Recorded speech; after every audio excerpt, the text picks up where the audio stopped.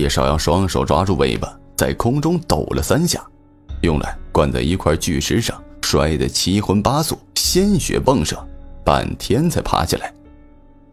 这并不是一般的邪物，叶少阳心中非常明白这一点，从他能突破朱砂线封锁，破体而出就可以看出大概。不幸的是，他遇到的对手是叶少阳，从一开始就被占了先手，完全发挥不出。甚至连还手都不能。这会儿，刚从石头上爬起来，叶少阳手持一方大印，兜头打了下来。明明貔貅眼，一阵天文路，二阵地温门，三阵人有路，四阵鬼无门，天罗地网不容情。太上老君急急如律令。貔貅眼将那怪婴牢牢的压住，完全动弹不得，肉身被一点点的碾碎，污血流淌，很快就没了动静。叶少阳做法，收起了啤酒瘾，目光寻找穆青雨，见他已经降住了那僵尸，用一根草绳拴住手脚，用力扯在一起。那僵尸四肢挣扎，却挣不开看似脆弱的草绳。穆青雨喘了口气，去看被啤酒印压死的那个怪婴，看了一眼，立刻捂住嘴巴，惊呼道：“啊，这是鬼血将！”简单介绍起来。这鬼头将是黑巫术中间极其厉害的一种。穆青雨虽然没见过，但也在书上看过。望着石头上一堆残躯化去的血污，最终用树枝挑起一串白花花的东西，说道：“这就是鬼血将的真身了。这是什么？紫河车，也就是胎盘。这门巫术就是用妇女产子时的胎盘在药水中浸泡，还有各种玄妙的法术。”我就不知道了。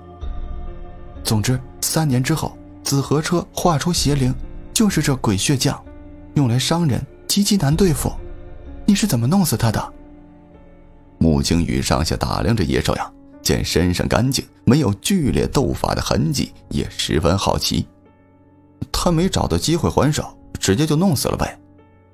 叶少阳耸了耸肩，穆青雨说道：“我们十八寨绝对没有这么厉害的黑巫师。”就算整个湘西，怕也是没有了。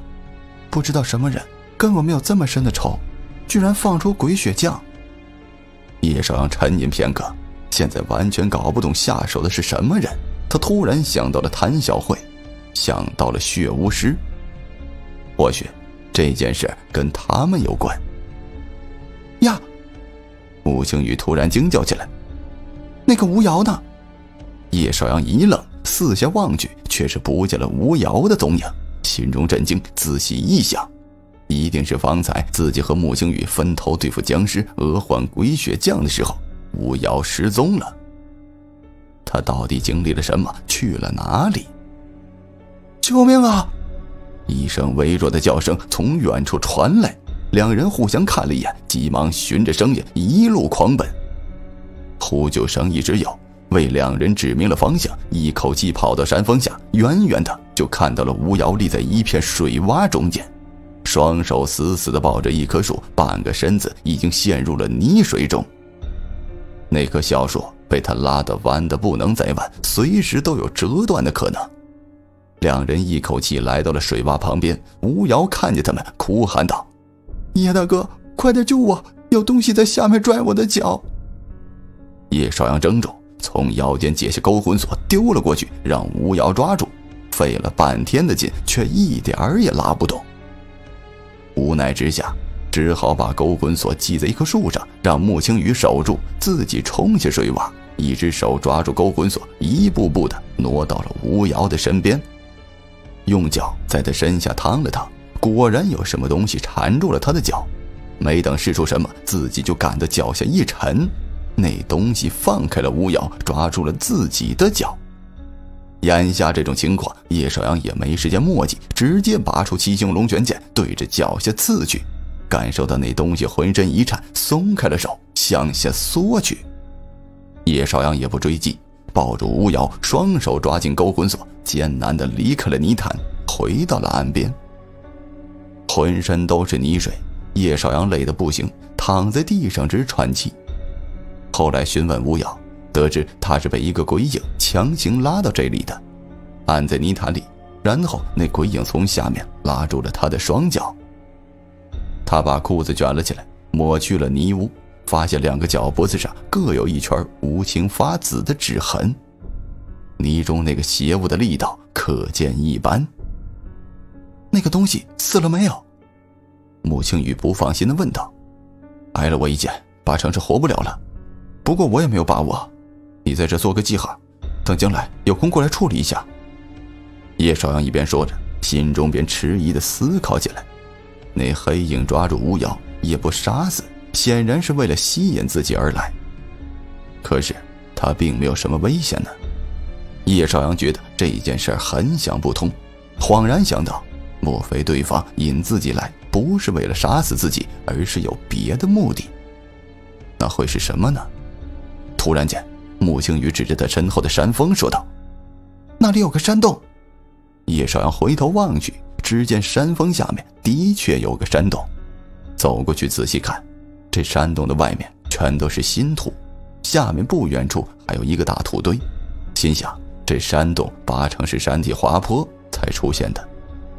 穆青雨观察左右之后。证明了这一点。这山洞以前或许没有开口，就算有，也很隐秘，因为洪水造成了山体滑坡，这才显现出来。穆青雨用手电朝里面照去，发现了一个长长的东西，一头大，一头小，被两根木梁架在岩壁上。玄关，穆青雨当场色变。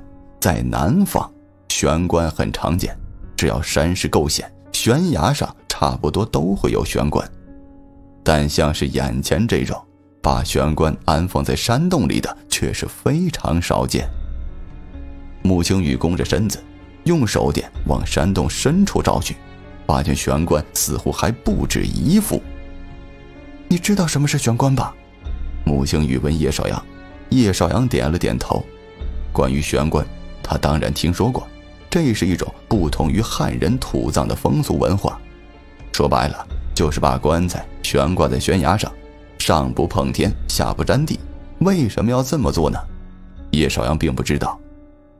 至于这些棺材是怎么运到悬崖峭壁上的，一直以来就有各种说法，叶少阳也不知道哪个是真的。穆星宇已经走到了山洞跟前，举着手电朝里面照去。叶少阳赶到他身边，一起观察。只见山洞内部宽阔。靠墙一侧的岩壁上似乎挂满了棺材。